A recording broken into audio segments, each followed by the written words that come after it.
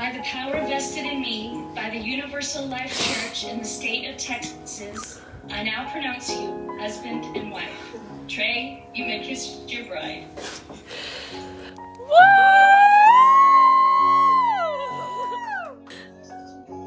Oh yeah, we're we're supposed to be um, social distancing or whatever it's called. I don't know.